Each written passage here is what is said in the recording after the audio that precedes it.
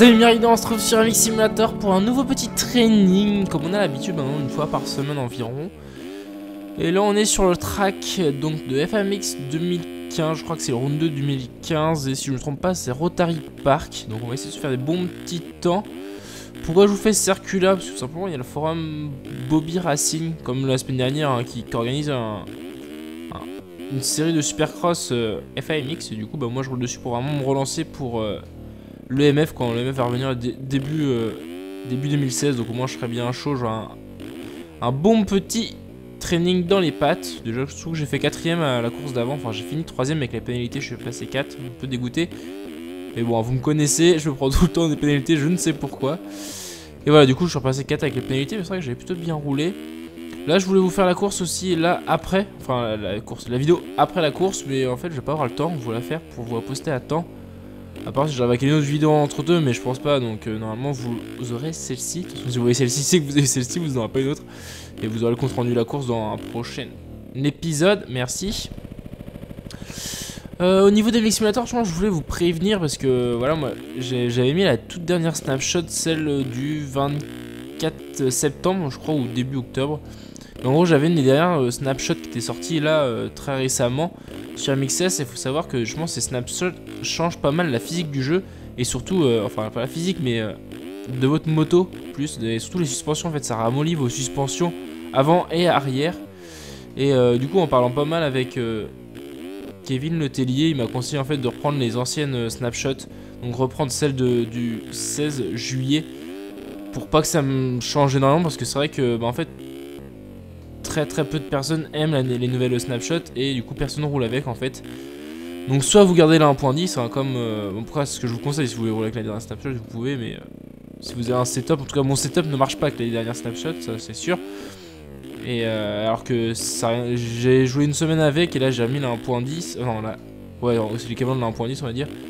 Et c'est juste le jour et la nuit. Et donc ouais je vous conseille vraiment, si vous roulez avec mon setup en tout cas, de garder les anciennes snapshots. Donc pour savoir dans quel snapshot vous êtes, c'est simple. Je vais vous montrer juste en ligne droite. Hop. Vous appuyez sur échappe et c'est marqué là en bas à droite. Oui, je suis en ligne, du coup ça me passe, ça se pose. Euh, là c'est marqué, donc moi j'ai celle du 16 juillet 2015. Donc si vous avez celle-ci, ça va. Si vous avez une plus récente, soit ça vous dérange pas, du coup vous pouvez rouler avec. Ou soit, euh, bah, si ça vous dérange trop, bah, vous pouvez reprendre celle-ci pour euh, justement avoir une version qui modifie pas les suspensions parce que je crois que c'est la dernière en date qui euh, juste après, celle d'après a modifié les suspensions. Donc forcément euh, ça change un peu au niveau du setup et pour ceux qui rouleraient avec mon setup, je vous déconseille de rouler avec si vous avez la toute dernière snapshot parce qu'il est juste pas du tout adapté en tout cas moi c'est juste horrible le pilotage dessus alors que quand j'ai repris l'ancienne version on va dire ça appeler ça comme ça c'était le jour et la nuit donc c'est vrai que je vous conseille plus de garder celle de juillet qui est vraiment qui marche plutôt bien. Et puis euh, je pense pas que pour faire des courses en ligne vous aurez besoin de plus que celle-ci. Donc euh, en tout cas sur Bobby Racing normalement même en 1.10 ça fonctionne, voire même avant donc euh, en 1.9. Mais autant avoir une version du jeu assez récente, même si ça change pas énormément de choses. Hein, Les derniers ont changé juste ce, truc des suspensions. Donc peut-être qu'au bout d'un moment on va devoir y aller dessus, mais bon on aura déjà plus de personnes qui rejoueront avec pour avoir des avis, pour adapter un peu mon setup et revoir euh, ce setup mais euh, sur la nouvelle version en changeant des valeurs pour avoir une auto qui rajoute à peu près pareil. Parce que c'est vrai qu'il il est plutôt cool ce setup, même si je suis un peu de la merde là, mais bon.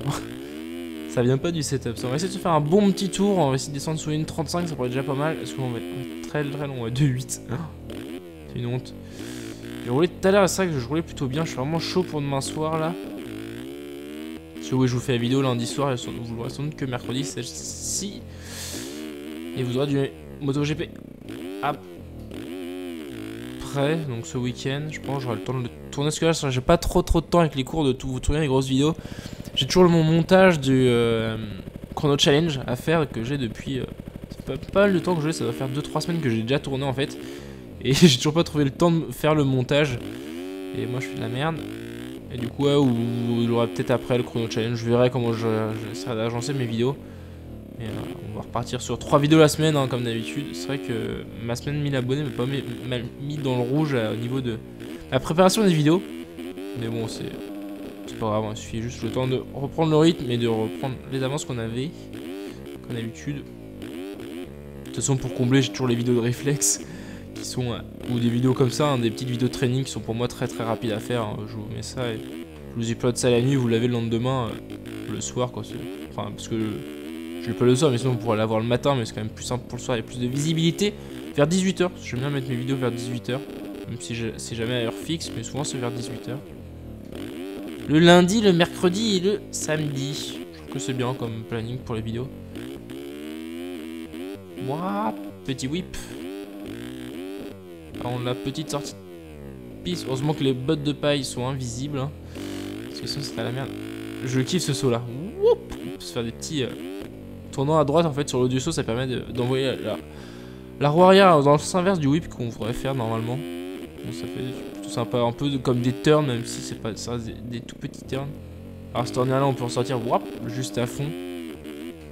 Il est vraiment sympa ce track. Hein. Il y a... Ça reste des FMX comme genre, je parlais avec euh, Kevin Meyer, donc Mega, Mega Fox euh, tout à l'heure. C'est que les FMX sont vraiment sympas parce qu'en fait, ils sont pas très très durs, contrairement au Hama où en plus les Hama on, joue tout le temps dessus, donc forcément au bout d'un on a marre. Mais là, les FMX, il y a vraiment moyen de progresser parce que si on veut rouler régulier, on peut, hein, en prenant des enchaînements assez basiques, comme je vous fais là, hein, en prenant euh, normal, sans trop compliqué. Hop. Et si on veut commencer à essayer de rouler un peu plus fort, bah, il suffit de commencer à vouloir prendre des enchaînements un, peu plus durs. Là, c'était plutôt dégueulasse. Un peu plus dur et on peut en plus, il y, a ce qu'il faut pour faire des enchaînements un peu plus durs et être plus rapide, du coup gagner 5-6 euh, secondes euh, au temps autour, ce qui est assez énorme, mais euh, si on veut vraiment prendre des risques, on peut. Et ils sont pas compliqués en soi, techniquement les virages sont pas compliqués, hein. il y, a, y, a, des bons petits enchaînements, non Le cours triple est pas évident. Et ouais, il y a des bons petits enchaînements et c'est vrai qu'ils sont vraiment sympas ces FAMX. Euh, moi je sais que je prends énormément plaisir de rouler dessus. Le Linois c'est vrai que je connaissais énormément donc forcément c'était pas une découverte pour moi mais lui je le connaissais pas. Et c'est une bonne découverte en fait. Je pense que je vais essayer de télécharger plus de FAMX pour m'entraîner dessus parce que c'est vrai que sont vraiment top. Une fois qu'on a bien compris les enchaînements, après on peut vraiment essayer de rouler vite et euh, commencer à, prendre les gros enchaînements. Essayer d'être régulé avec les gros enchaînements, c'est vraiment mon but ça pour... Euh, la saison de Supercross, c'est aussi à prendre les gros enchaînements avec les grosses impulsions, tout ce qui est triple, quadruple en sortie de virage. Et c'est vraiment ce que j'ai encore un peu de mal et euh, du coup je m'entraîne là-dessus et euh, c'est vrai que il y a moyen de faire des bons trucs comme là, je sais que si on prend l'extérieur, on peut sauter et attirer directement ici après faire double-double. Moi j'aime bien comme ça, ça passe bien, je me casse pas la tête. Comme là si on veut faire hop le petit trip, le petit whip Merci le nom. La session en, sable est super glissante, donc faut vraiment faire gaffe. Hop. Ça passe. Tout seul. Wallé, là voilà, super On va essayer de se faire un bon temps, on est plutôt bien parti. Hop. Vais bien passer comme ça à l'intérieur en double et en triple. Double, triple, triple, et ça passe plutôt bien. Ça fait des petits, en plus ça fait des petits enchaînements sympas. Où même dans le jeu on arrive à mettre la moto un peu comme on veut. C'est sympa. Hop, le quadruple, ça il passait nickel en plus. La quadruple nous fait gagner, je dirais, une petite seconde par rapport au step on, step off. Donc c'est vrai que c'est assez agréable. On va essayer de faire la triple. Allez, oui, la triple. Non Non, j'étais à l'envers. J'ai pas réussi à remettre la moto dans l'axe. Si c'est assez encore un peu dur pour moi, c'est tout ce qui est grosse impulsion comme ça en sortie de virage. J'ai tendance à mettre la moto un peu trop de travers et j'arrive pas à bien la remettre. Et du coup, euh, forcément, s'il y a des virages juste derrière, euh, c'est pas évident. Mais c'est vrai que la 450, je commence à bien la maîtriser. Du coup, je pense que je ferai le SX en 450. Donc, euh, c'est toujours pas décidé. Hein. À chaque fois vidéo, je vous en parle si je vais faire le SX en 450 ou en 250. Mais pour le moment, c'est bien parti en 450. Là, toute la saison de Bobby Racing, je la fais en, 450. Et on verra après euh, si on passe à mieux. Mais en tout cas, moi, j'aurais pas fait de super chrono. Hein. Une 43, ça reste plutôt moyen-moyen. Hein. Mais bon, c'est pas grave.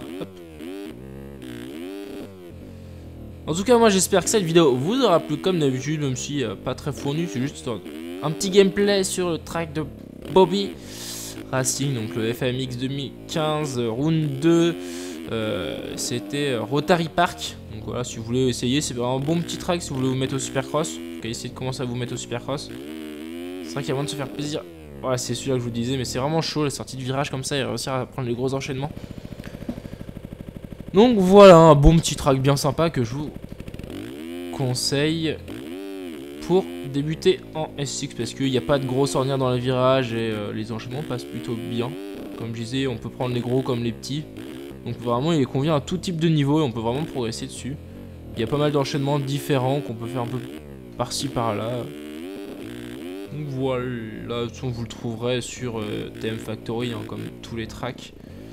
Enfin, tous les tracks connus comme ça euh, sur TM Factory. Racing, je crois que c'est un truc dans le genre. Ou... TM Factory sur Google et vous allez trouver je me connais, je vais pas oublier. Si je vous dis que je vais mettre le lien dans la description, je vais l'oublier. Donc, euh, je vous le dis pas. Là, on peut passer comme ça aussi. Putain, c'est vraiment bien passé là. C'est juste qu'après, j'arrive pas à faire le, le quadruple derrière, enchaîner le quadruple derrière. Donc, c'est vrai que ça gêne un peu. Moi, je vais m'arrêter là quand même. Parce qu'on a fini. Hop là, le petit enchaînement qui passe bien. Et bah, je vais vous dire à la prochaine. C'était MXWay Gamer. Ride in peace.